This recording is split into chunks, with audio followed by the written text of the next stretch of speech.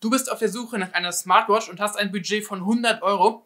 Dann hast du das richtige Video gefunden, denn in diesem Video stelle ich dir die Top 5 der besten Smartwatches unter 100 Euro vor. Ich teste hier auf dem Kanal regelmäßig die besten Smartwatches und kann dir dementsprechend aus eigener Erfahrung über die Vor- und Nachteile der einzelnen Uhren berichten.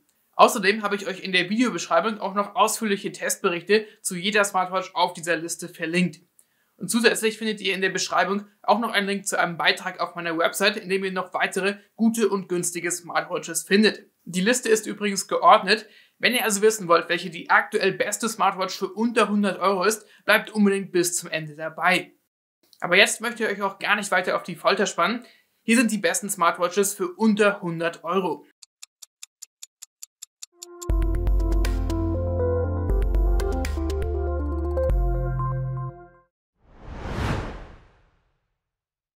Als erstes haben wir hier die Amazfit BIP, die für unter 100 Euro gleich schon einmal eine Menge zu bieten hat. Vor allem die Akkulaufzeit von über 30 Tagen und der integrierte GPS-Sensor sind hier große Pluspunkte. Die Uhr kann außerdem Anrufe und Benachrichtigungen von deinem Handy anzeigen und ist mit einer Wetteranzeige und einem Kompass ausgestattet. Was ich aber etwas vermisst habe, ist eine Musiksteuerung, die es hier leider nicht gibt. Dafür kann man aber mit vier verschiedenen Sportmodi seine Workouts aufzeichnen, was dank einem integrierten Barometer, GPS und Herzfrequenzsensor auch wirklich gut funktioniert. Ebenfalls sehr gut gefallen hat mir das praktische Always-On-Display der Amazfit BIP. Dank einem sehr energieeffizienten TFT-Screen lassen sich wichtige Daten wie die Uhrzeit und Schrittanzahl dauerhaft auf dem Display anzeigen. Das bringt aber eben auch den Nachteil mit sich, dass das Display zum einen nicht besonders hübsch aussieht und zum anderen teilweise etwas zu dunkel ist. Insgesamt ist die Amazfit BIP eine sehr schlichte Smartwatch, die sich auf das Wesentliche beschränkt und dementsprechend auch für einen sehr guten Preis zu bekommen ist. Wer sich also nicht an dem sehr schlichten Design der Uhr stört, bekommt mit der Amazfit BIP für unter 100 Euro eine sehr solide Smartwatch. TickWatch hat sich auf Budget-Smartwatches spezialisiert und die GTH ist eine ihrer neuesten Smartwatches, die sich diesmal vor allem auf die Überwachung und Verbesserung der Gesundheit konzentriert. Die TicWatch GTH hat ein 1,5 Zoll LCD-Panel mit 360 x 320 Pixeln. Also ein recht einfaches Display im Vergleich zu den AMOLED-Displays, die man bei anderen Smartwatches bekommt.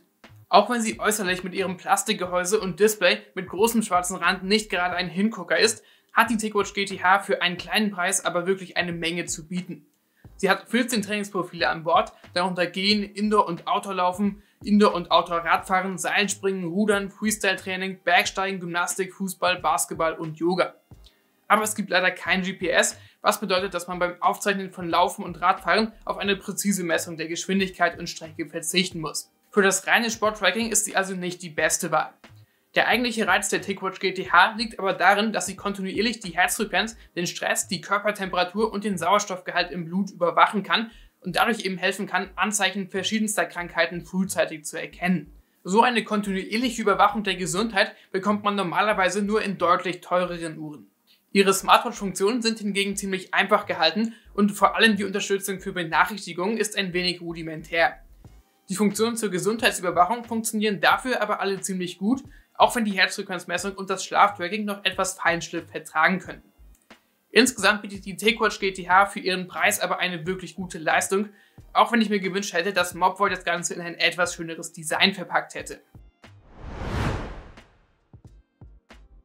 Eine der besten Smartwatches für unter 100 Euro ist die Amazfit BEPU Pro, die ein schickes Design und vielseitige Funktionen mitbringt. Erstaunlich ist auch, dass sie sich trotz ihres günstigen Preises beim Tragen hochwertig und ergonomisch anfühlt. Ein weiteres wichtiges Merkmal ist die robuste Bauweise mit einer Wasserdichtigkeit von bis zu 5 bar.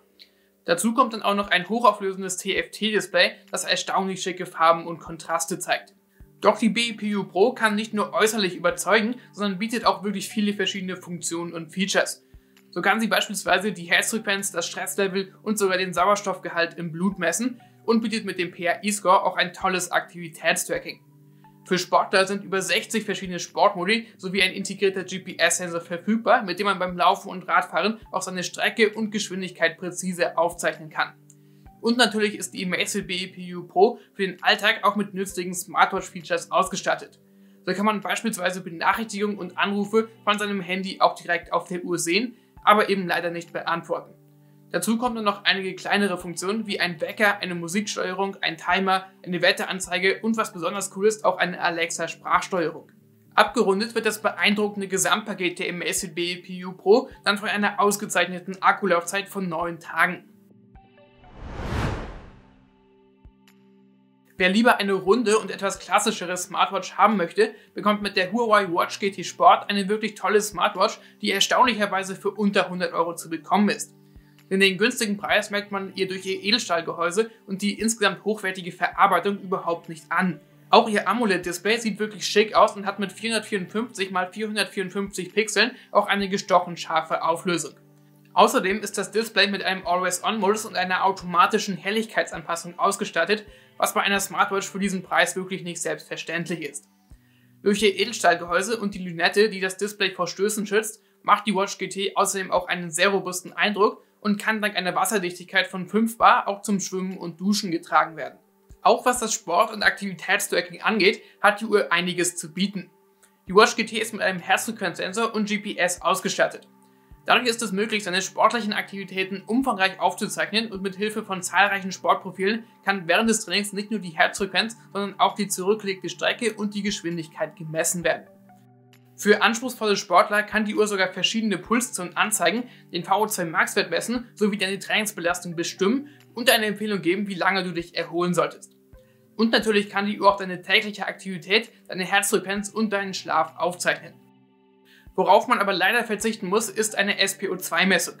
Wer jedoch bereit ist, ein paar Euro mehr auszugeben, bekommt bei der Huawei Watch GT 2e eine fast identische Smartwatch, die nun aber eben auch mit SPO2-Messung und einem Musikspeicher ausgestattet ist.